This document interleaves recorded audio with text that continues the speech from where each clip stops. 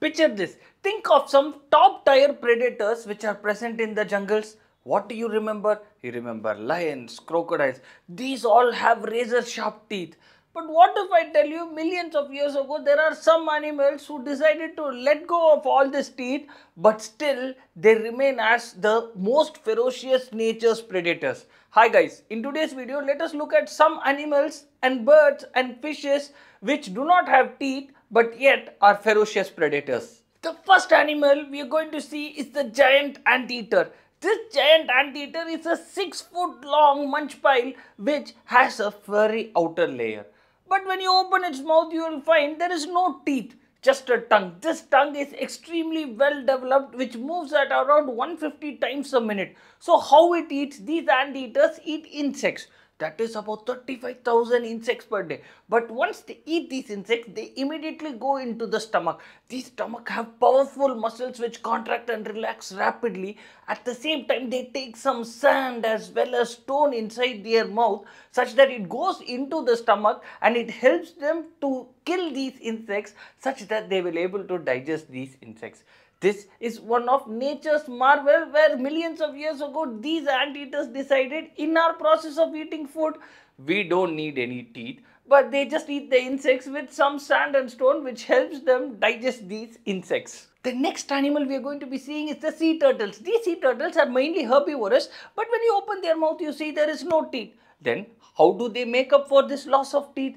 See what these sea turtles have, they have a giant armor behind their backs. But the presence of a sharp beak helps them to overcome this loss of teeth. For example, the sea turtles, these turtles have a serrated beak. This helps them cut the grass very nicely such that they can eat it. Also the hawksbill turtle, they have a serrated beak. These serrated beaks help them to cut through the coral reefs when they go there in search of food. These turtles have these beaks which are made up of keratin which makes it very hard and they self-sharpen it throughout their life.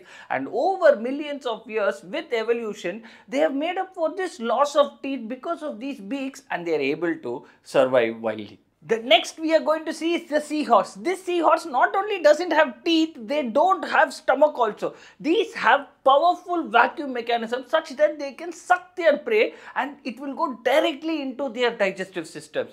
These are voracious predators such that they camouflage themselves in the sea and they go and attack their prey at the right time but they don't need the teeth to do so. With just having a powerful suction mechanism they can easily suck their prey and it will go directly into their digestive system and it will digest it. The next one in our list is the scorpion. These scorpions' mouth is so small that they cannot eat anything and they don't have any teeth. Then how do they hunt? See, these scorpions have powerful pincers. When they find a prey, they will go and latch onto it and they will give a venomous sting and the prey will die. Then what it does is, it has a juice which is having a powerful digestive enzyme which spits on the corpse what then happens all this gets digested and it will drink this digested liquid as a syrup so it does not have teeth to go and grind the food and swallow it. No, what it does, it kills the prey, throws digestive enzymes on it, it makes it into a liquid and it sucks it in. This is a marvel, right? Yes, this is how this scorpion has evolved to be one of nature's dangerous predators. The next animal we are going to speak about is the whale shark. These whale sharks are one of the largest fishes in the sea but inside their mouth there is only 3000 tiny useless teeth. These are just evolutionary souvenirs. Then how do they hunt? These whale sharks travel with their mouth open. So when they go with their mouth open, what they do is they just gulp a large amount of water in which small fishes, planktons will be there.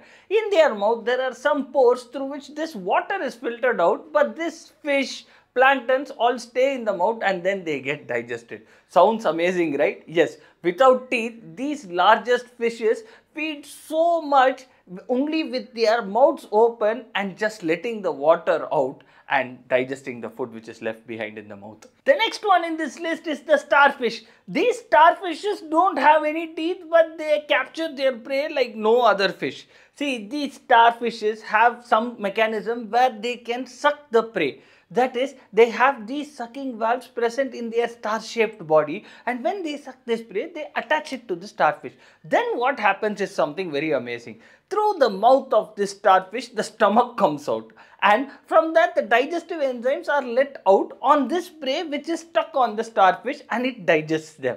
Once they digest them, the stomach then directly sucks in the prey into the starfish. Sounds amazing, right? The next one we are going to talk about is the jellyfish. This jellyfish has tentacles which produces the stinging cells, which stinging cells which will attack the prey and paralyze it. Now it has an opening in this. Now this opening I don't know whether to call it as the mouth because both eating and excretion happens through this single opening. Once this prey is paralyzed, what this jellyfish does is it opens this opening and then from that the digestive enzymes will suck this prey into and they get digested and the relevant nutrients are taken inside the jellyfish and what is not needed is excreted out through the same opening. The ducks. These ducks have long beaks but they don't have any teeth in them but they have thousands of hair-like lamellar structures present inside this beak which acts like a sieve. See what does a duck eat? Algae, some small invertebrates. So when they eat this, they take along it with the water. But this lamella serves as a sieve such that it takes this water out and keeps this algae or small invertebrates inside the beak only. But they don't grind the food. They take it directly into the stomach. And in the stomach, there are powerful digestive enzymes as well as something called as the gizzard. This gizzard is something which is of strong muscular activity which along with the help of stone, sand, it helps to grind this food. Sounds amazing, right? Teeth may dominate our daily lives. But always remember, in the wild, there are certain animals and fishes without teeth still dominating. Do like, share and subscribe me for more interesting videos.